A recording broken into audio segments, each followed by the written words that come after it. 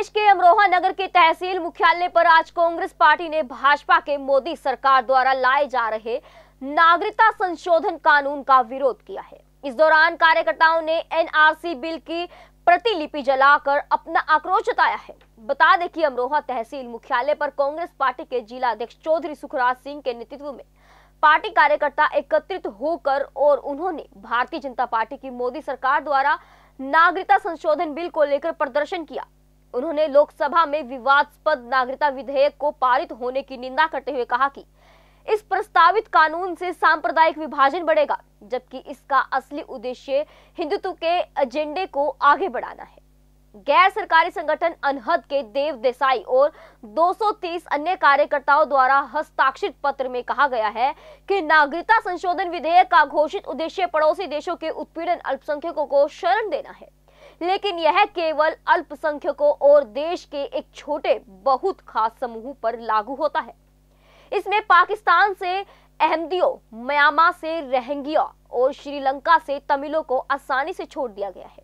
इसमें कहा गया है कि यह विधेयक शरणार्थियों की रक्षा के लिए बारे में नहीं है, बल्कि इसका उद्देश्य केवल हिंदुत्व के एजेंडे को आगे बढ़ाना है। इस दौरान उन्होंने एनआरसी बिल की प्रतिलिपि जलाकर अपना आक्रोश जताया है। उन्होंने कहा कि अगर यह अगर राज्यसभा में नहीं रुक पाता तो हम लोग इसको इतना फैला देंगे कि जनता के दबाव में आकर सरकार को बैकफुट पर आना ही पड़ेगा। सर बताइएगा आज जो ये विरोध हुआ क्या है इस बारे में? आज हमारी अखिल भारतीय कांग्रेस कमेटी की महासचिव आदरणीय प्रियंका गांधी जी ने निर्देश करा कि जो भारतीय जनता पार्टी संघीय संविधान कानून बनाना चाहती है जो देश को बांटने की राजनीति करना चाहती है जो उन्होंने नया कानून बनाया है उसकी प्रतिलिपि जलाई है हम लोगों ने। इस कानून को कांग्रेस पार्टी सदन से और सड़कों तक किसी भी कीमत पर बर्दाश्त नहीं करेगी। क्योंकि जिला शहर कांग्रेस कमेटी इसकी पूरी तरह से निंदा करती है। सभी सीनियर कांग्रेसी इसकी निंदा करते हैं, क्योंकि बांटने की राजनीति जो जिन्ना ने करी थी कभी, आज उसी नीति पर ये भारतीय जनता पार्टी के लोग अमित शाह आदि सब चल रहे हैं। इसको कांग्रेस पार्टी किसी भी कीमत पर बर्दाश्त नहीं करेगी।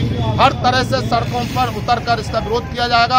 अगर आज राज्यसभा में ये बिल किसी वजह से नहीं रुकता है तो इसको इतना देश में इस कदर आंदोलन चलाया जाएगा कि सरकार को झुकना पड़ेगा और ये कानून में बदलाव करना पड़ेगा। माफ़ी मांगनी पड़ेगी, वापस लेना पड़ेगा।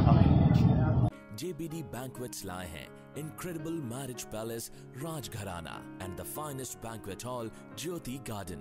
World class catering, centrally air conditioned, lush green lawns, state of the art lighting. A perfect venue for wedding, launching and parties. Rajgharana and Jyoti Garden at JBD Banquets Enterprise.